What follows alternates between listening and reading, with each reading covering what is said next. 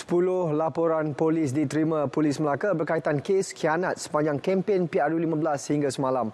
Daripada angka itu, lima kertas siasatan telah dibuka dan masih dalam proses siasatan. Antaranya termasuk kes khianat mencabut bendera parti lawan seperti yang dilaporkan sebelum ini. Dan uh, ya polis uh, sentiasa uh, apa, memantau eh, uh, apa, di ceramah atau kempen yang dijalankan. Lah. Itu saja. Kawasan api macam mana? Ya. Uh, ini kianat lah. Eh, banyaknya kianat. Ya.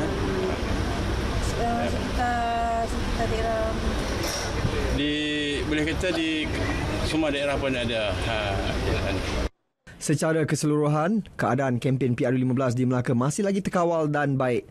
Datuk Zainul berkata demikian selepas meninjau proses undi awal di IPK Melaka. Secara keseluruhan, beliau berpuas hati dengan perjalanan proses undi awal tersebut.